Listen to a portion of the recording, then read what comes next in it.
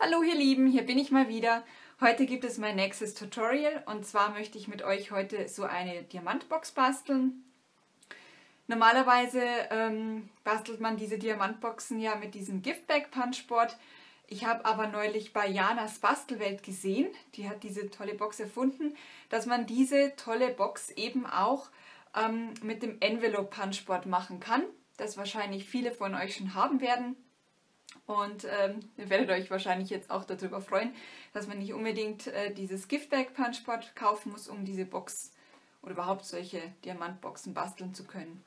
Genau, sie sieht eben so aus, also auch eine Form vom Diamanten. Ich habe da drauf noch eine Blume gemacht ähm, und man kann sie eben so öffnen und dann passt dann doch einiges rein und dann auch so wieder schön verschließen. Ähm, ihr seid recht flexibel von der Größe her. Also ihr könnt wirklich von kleinen Boxen bis zu groß, größeren Boxen könnt ihr alles basteln. Ähm, die hat jetzt halt, ähm, die Maße, wenn man das vom Cardstock her nehmen würde, von 20 x 20. Die Box, die wir heute basteln, wird nur halb so groß. Ich möchte ein bisschen kleinere mit euch werkeln. Und ähm, genau, würde ich sagen, wir legen jetzt einfach mal los. Ich habe mir ähm, schon ein bisschen Designerpapier zurechtgeschnitten und zwar braucht ihr zwei ähm, Cardstocks in den Größen 10 x 10 cm. Ich habe dieses Papier jetzt aus diesem besonderen Designer-Papier Sommerglanz aus dem aktuellen Frühlingskatalog. Ich möchte die Seite als Außenseite haben. Ich finde, die ist einfach nur knallig. Und ähm, ja, mir gefällt das ganz gut mit diesen blauen Streifen. So, ähm, dann würde ich sagen, legen wir auch erst schon mal los. Wir brauchen das Punchboard stelle ich das jetzt gerade mal hierher, dann seht ihr das, was ich mache. Dann einmal das Falzball hier rausnehmen. Wie gesagt, wir haben die Größe von 10 x 10 cm und wir legen jetzt einfach bei 5 cm an. Dann wird einmal gepuncht und einmal gefalzt. Jetzt bin ich eigentlich, ja, ich habe es gerade festgestellt, ich bin auf der falschen Seite. Ich sollte umdrehen, damit ich den Falz auf der richtigen Seite habe vom Drücken her bleibt es gleich, aber vom der Falzlinie her sollte es auf der Seite sein. So, das machen wir jetzt eigentlich reihum so, bis wir wieder in der Ausgangsposition angekommen sind. Wieder punchen und scoren.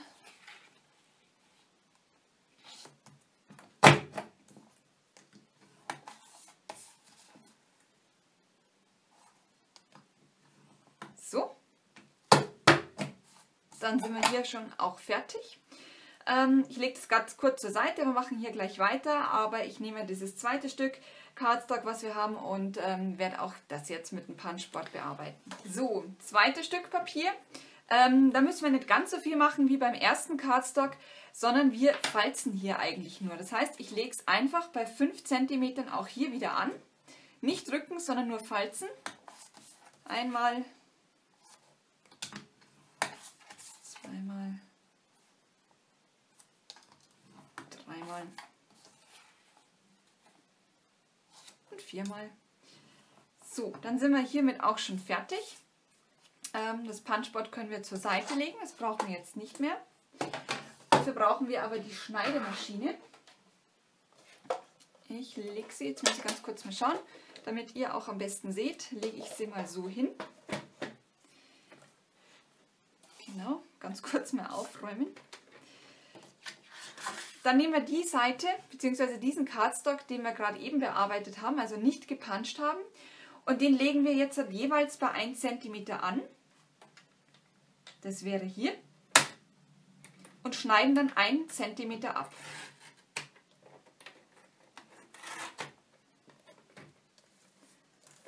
Das machen wir auch wieder reihum so.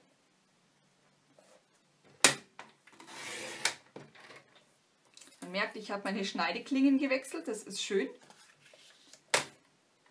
Ups.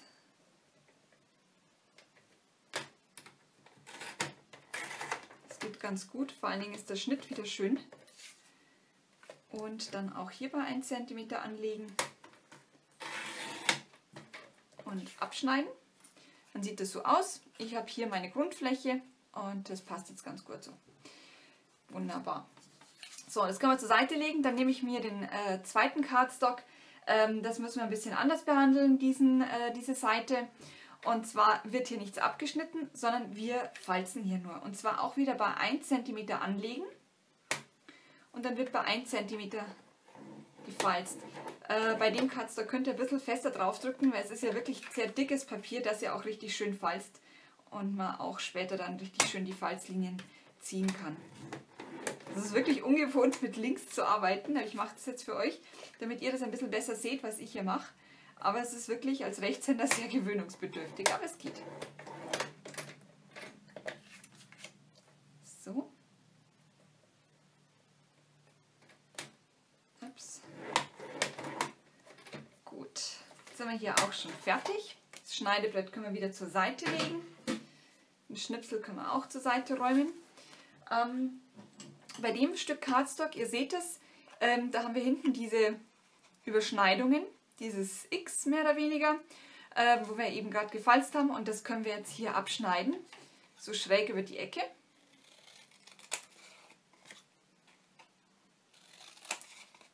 Auch wieder ringsrum herum.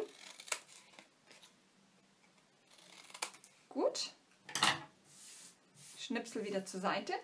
Und dann geht es auch schon eigentlich ans Falzen. Ihr seht, das geht eigentlich relativ schnell. Es ist auch sehr unkompliziert und auch nicht wirklich schwierig. Aber es sieht doch dann, wenn es fertig ist, ein bisschen nach was, ein bisschen nach was aus.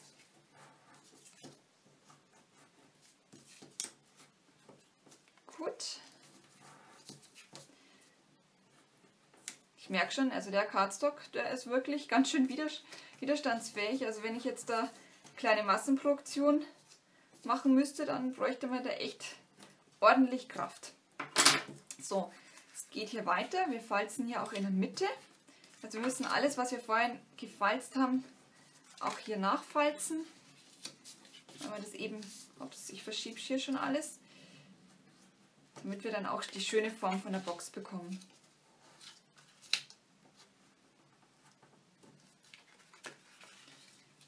da noch. Sehr gut. So, seht ihr schon ein bisschen die Form von dem Ganzen. Ich lege das gerade mal zur Seite. Wir haben ja noch den, ähm, den zweiten Teil von, dem, von der Box. Ähm, da gibt es jetzt nicht ganz so viel zu falzen. Das sind ja bloß diese Laschen jeweils.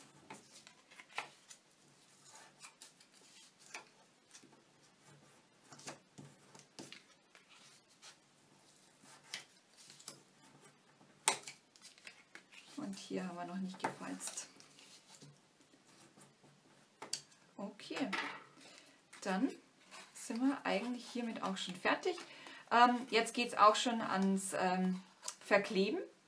Ich ähm, arbeite auch hier wieder, weil natürlich bei jeder, Span äh, bei jeder Box Spannung drauf ist, mit ähm, selbstklebenden äh, Streifen, Klebestreifen, diesen doppelseitigen Klebeband. Ich habe es vorher ein bisschen vorgeschnitten, damit es ein bisschen schneller geht und schneide dann jeweils da die Streifen so ein bisschen ab. Ähm, bis auf zwei so Laschen kleben wir überall etwas hin. Ihr werdet sehen, weil wir wollen ja die Box danach wieder aufmachen können, ohne dass wir dann auch, äh, ohne dass wir alles zerstören. Ich glaube, das ist so lang, dass ich es hier noch hinkleben kann. Das ist ganz gut. Genau, und ähm, deswegen sparen wir eben zwei Laschen aus. Jetzt wird hier abgeschnitten. Und hier noch, ups, jetzt bin ich ein bisschen schräg gekommen, aber man kann es ein bisschen korrigieren. Oftmals ist es ein bisschen schwierig bei dem doppelseitigen Klebeband.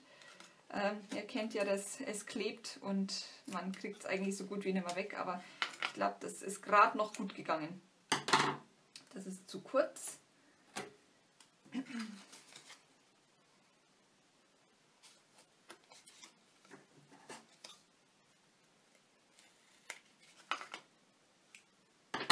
Noch einen Streifen und dann haben wir es auch hier schon. So, wie gesagt, das sparen wir aus. Dann können wir hier schon mal, oder ich zeige euch mal, wie das jetzt funktioniert. Also wir haben hier das Oberteil und dann noch hier das Unterteil. Und ähm, diese Zacken werden jetzt einfach hier aufeinander geklebt und dann hat man auch schon die Box. Also ihr seht, das ist wirklich sehr unkompliziert und äh, geht wirklich sehr, sehr schnell. Sehe gerade, ich glaube, ich habe hier einen kleinen Fehler gemacht. Okay. Man kann leider jetzt nicht zurückspulen. Ich werde es auch nicht machen. Ich habe mir jetzt leider hier etwas verklebt. Aber gut, das ist jetzt leider so. Das kann ich jetzt nicht ändern. Ähm, ich habe es jetzt gerade gesehen. Ich habe ja gerade gesagt, wir müssen hier die Zacken hier aufeinander kleben. Und ähm, das ist ja dann meine Öffnung. Und von dem her hätte hier kein Klebestreifen hin sollen. Beziehungsweise auf der anderen Seite, aber okay, jetzt ist es so. Ich kann es jetzt nicht ändern. Jetzt lassen wir das auch so. Sind wir mal großzügig. Okay. So, jetzt beginnen wir schon mit dem Zusammenkleben. Und zwar fange ich schon mal an. Das geht jetzt einfach reihum. Und zwar werden die Zacken eben hier aufgeklebt. Schauen, dass man so bündig wie möglich ist.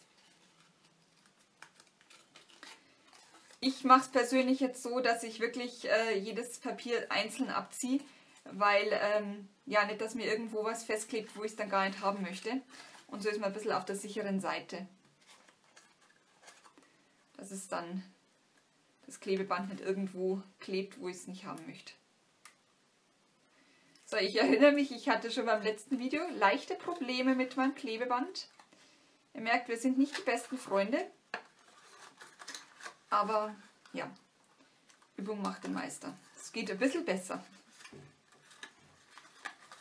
So, die Ecke ist ein bisschen widerspenstig, aber das funktioniert schon. Seht, langsam aber sicher formt sich die Box.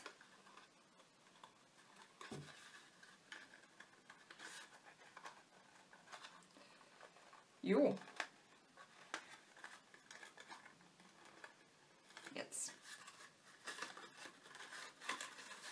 zum Schluss ist es ein bisschen eine Friemelarbeit, aber wenn ihr dann ein paar Boxen gebastelt habt, dann funktioniert das auch ganz schnell. Also genau, wir kleben jetzt hier noch die Lasche fest und äh, die letzte, wie gesagt, nehmen wir, damit wir noch eine Öffnung haben.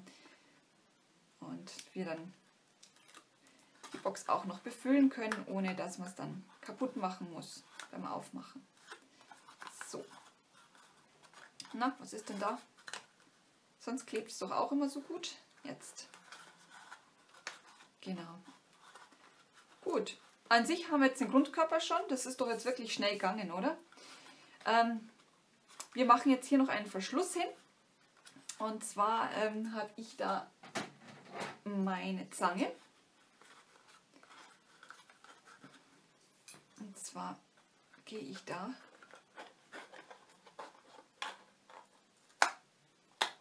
mal rein. Ach, das ist immer mein Lieblingsspielzeug, diese Zange.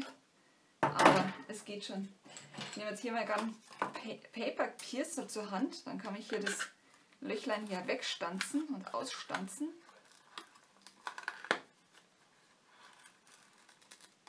So.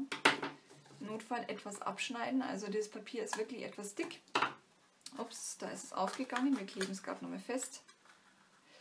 Von dem her ist es wirklich gut, dass man nicht normalen Klebstoff hernimmt, weil äh, das wird wirklich nicht funktionieren. Und dann machen wir unten, hier bei der Lasche, machen wir uns auch noch ein Loch, damit man danach das Band richtig schön durchziehen kann. So, da braucht man ein bisschen Kraft. Aber jetzt haben wir auch hier das Loch. Ich schneide das einfach ganz kurz hier ab.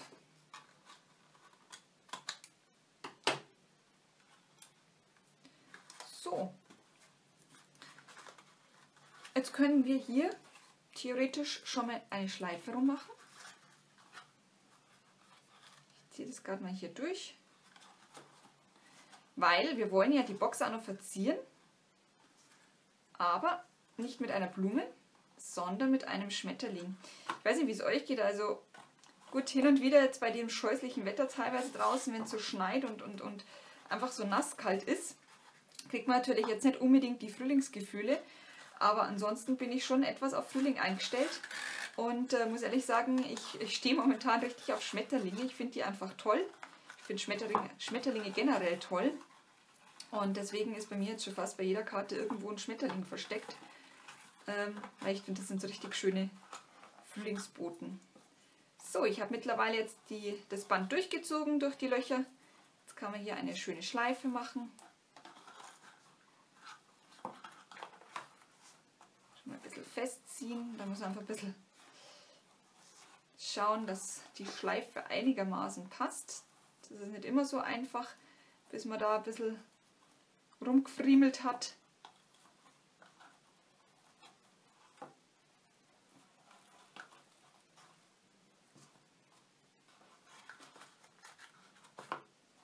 Irgendwie bin ich nicht so ganz zufrieden.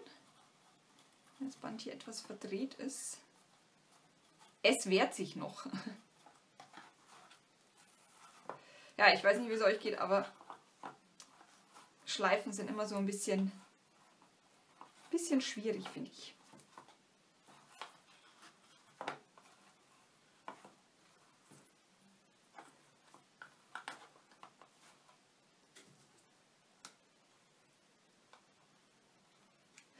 Wisst ihr was? Ich schaue mir das ja nach nochmal an. Ich mache jetzt erstmal den Rest. Ich lasse mir die, Schleif die Bändchen da noch hängen. Ich glaube, das müssen wir uns danach nochmal anschauen. Ähm, aber ich möchte jetzt äh, weitermachen. Und zwar kommt jetzt sozusagen das Topping drauf. Ich habe da schon ein bisschen was vorgeschnippelt und vorgestanzt. Und zwar habe ich ein Stück Juteband. Ich möchte es da so quer drauf machen. Das macht man am besten mit doppelseitigem Klebeband, dann hält es wirklich am besten, weil gerade auf Jute da ähm, normaler Kleber, den kann man wirklich vergessen und gut, vielleicht würden die Glue Dots noch gehen.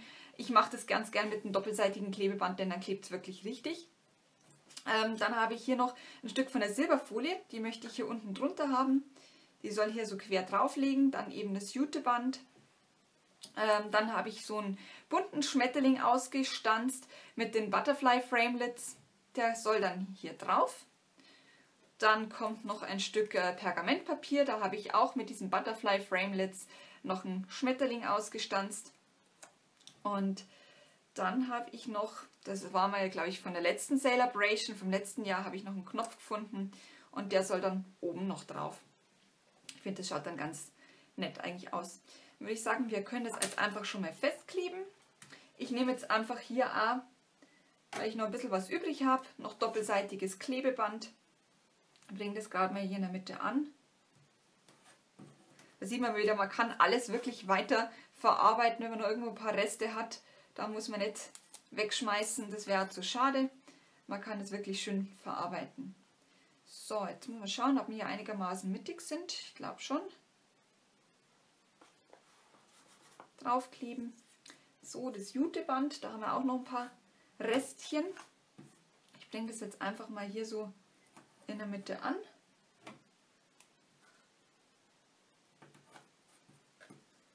Und dann klebt es schön.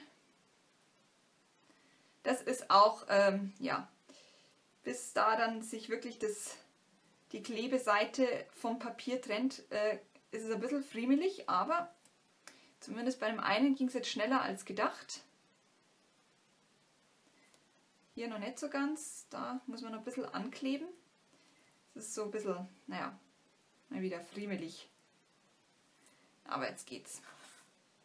So, ähm, die, das Fähnchen habe ich übrigens mit den äh, Banner Framelits ausgestanzt, beziehungsweise die Bitty Banners sind das nicht die Banner Framelits, sondern die Bitty Banners. Das sind wirklich ähm, meine Lieblings-Framelits, weil ich finde, die sind so richtig schön zierlich und man kann die echt für alles gebrauchen. Also die sind bei mir wirklich schon fast auf jeder Karte irgendwie mit dabei. Ich liebe sie einfach. Und ähm, das Juteband habe ich ehrlich gesagt einfach so ein bisschen nach Augenmaß zurechtgeschnitten. Also da gibt es kein Maß. Das muss man einfach selber ein bisschen zurechtschneiden. So, dann kommt der Schmetterling oben drauf. Da werde ich jetzt halt, ähm, ein paar Glue Dots verwenden. Ähm, das klebt am besten und ähm, man sieht natürlich dann auch nichts. Ich piekse da einfach mal ein paar auf mit meinem Paper Piercer. Das ist das einfachste. Dann kann man die da schön anbringen.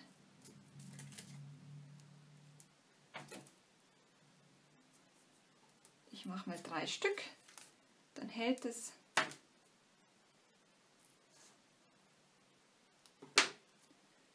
So, dann wird er mal mittig aufgeklebt. Ein bisschen andrücken. Das ist schön bei dem Papier, bei dem Cardstock, bei dem ähm, Designerpapier. Das ist wirklich so dick, sodass man wirklich ein bisschen andrücken kann, ohne dass man gleich durchbricht.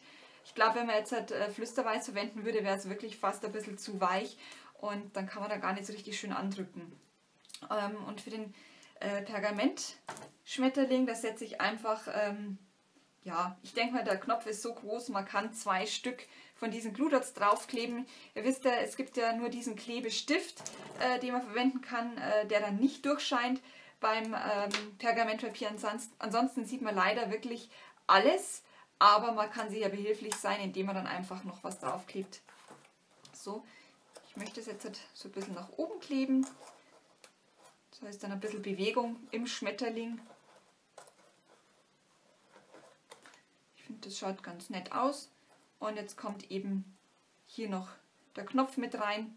Ähm, ich bin gerade mal überlegen, ich habe hier noch ein Stück ähm, weißes Garn. Mal schauen, wie das ausschaut. Ich weiß jetzt ehrlich gesagt nicht, das war jetzt gerade mal hier so eine spontane Idee. Ob es zu viel wird mit der anderen Schleife, ich weiß es noch nicht. Ich schaue es mir gerade mal an. Wir werden es ja sehen. Also ich fädel es jetzt einfach gerade mal hier durch, so wie man einen normalen Knopf annähen würde. Und bind mein Schleifchen.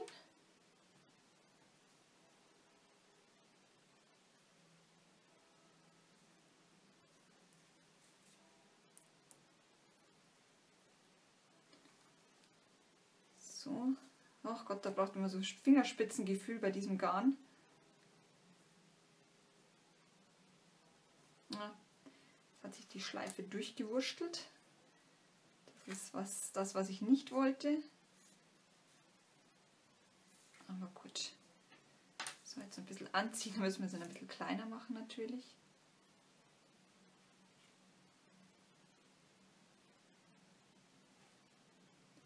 dreht sich leider immer ein bisschen.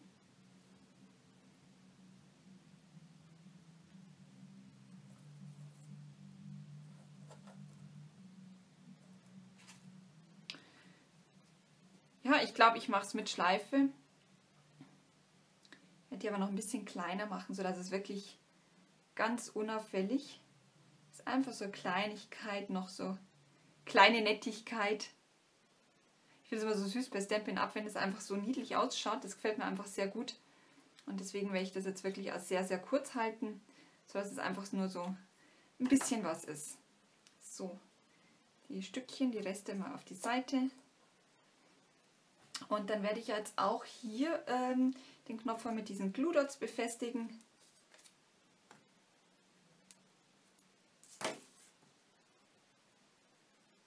Vielleicht gerade mal einen in die Mitte. Und vielleicht dann noch oben und unten, damit es er wirklich gut hält und sich nicht löst.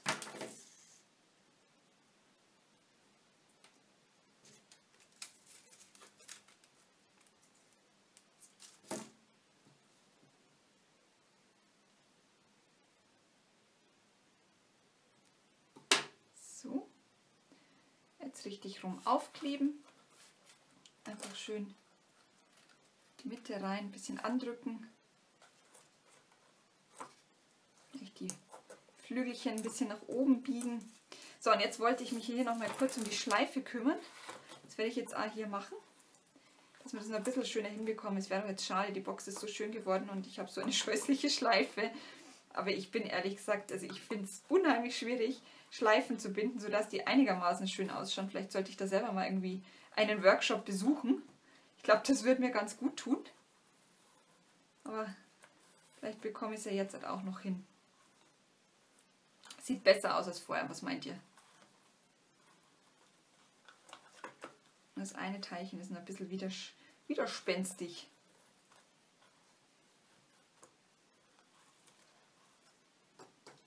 So, ich glaube, das wird nicht mehr besser. Ich schneide es jetzt einfach hier mal ab.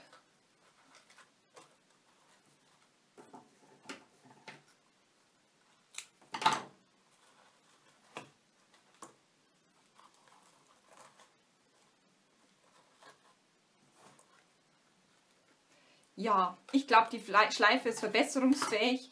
Ähm, ansonsten finde ich die Box ganz süß. Ich mag die Farben sehr gerne.